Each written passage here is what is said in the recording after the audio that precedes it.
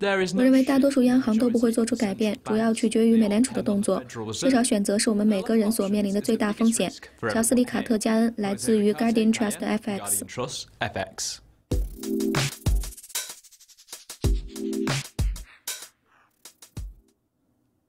马里奥·德拉吉发出了警告，声称低利率时期将会给欧洲金融市场带来风险。欧洲央行的利率决议对于他们所提出的风险具有竞争性吗？在过去的二十四个小时当中，德拉吉发表了很多有关风险的言论，但是他能够做的并不多。我认为会看到太多的变化。美联储预计欧洲央行将会继续宽松。而在下一次的欧洲央行会议上，可能只会产生更多的言论，而不是真正的行动。欧洲央行非常的依赖于美联储所做出的决定。现在真的是这样了，风险真的来了。长时间的低利率将会导致恶性通胀。目前你如何来控制这样的环境？很多国家的财政出现了紧缩，税收政策杂乱无章，还有一些国家，例如意大利，就像我们看到的那样，几乎处在崩溃的边缘，没有任何的办法，也不存在任何逻辑再让别人拿出钱来。至少马里奥·德拉吉和欧盟已经没有任何理由再给予资金方面的救助，来让整个意大利脱离困境。所以，我们并不期待会迎来更多的相关的言论，但是预计这次的叙事方式会和之前的一样。中国的贸易平衡数据将会在本周公布，在特朗普对中国敌对情绪下，该数据将会如何呢？我认为并不会出现任何意外。我预计数据将会继续改善。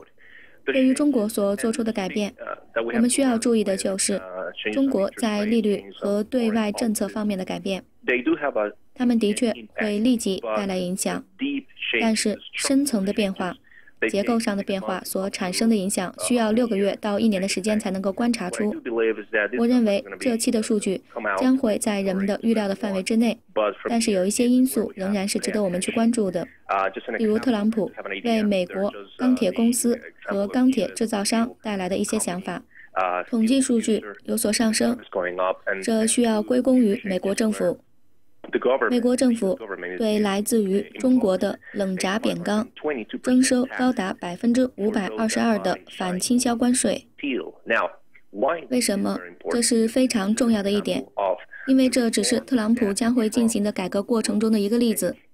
这样做可以让美国的公司和生产商在很多个月，甚至是很多年里受益。与中国有业务往来的一些小型的公司，在短期内。会有所抱怨，没有什么特别值得注意的，不会出现任何的意外，结果会和预期的一样。在未来的六个月到一年里，很多事情将会有所改变，美国和中国之间将会开始逐渐的出现小摩擦。我们可以打赌，中国已经把相关的资源在不同的市场进行了部署，预计非洲将会是目标市场之一。还有中东，当然，从目前的情况来看的话，可以预计的是，欧洲、英国和欧元区将会成为中国的平衡市场，用来对抗美国的首要目标区域。加拿大央行行长斯蒂芬·波罗兹已经暗示了，由于加拿大经济的不稳定，很有可能将会改变利率，但是市场预计利率不会改变。那么你对此有怎样的预测呢？你问我会有怎样的看法？我的看法就是通过特定的模式来观察一下，需要观察数据因素，还需要关注央行的表现。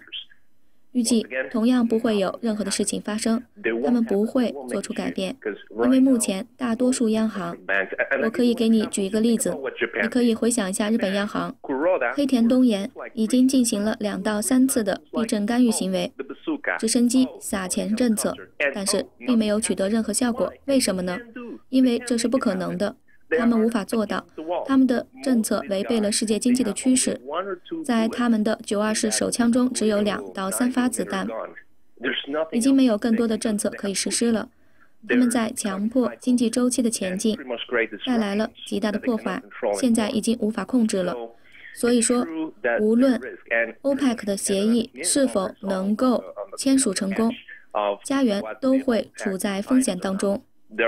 加拿大失去了汽车行业，转移到了墨西哥，所以经济位于动荡之中。其他的那些能够决定我们未来的因素，会有怎样的趋势呢？商品是其中最重要的因素之一。可能市场在2017年将会调整对商品的期待，因为不同的压力正在到来。英国退欧带来的后续影响，以及现在意大利的危机。我认为大多数的央行都不会做出改变。他们是否会做出改变，主要是取决于美联储的动作。而缺少选择是我们每一个人所面临的最大风险。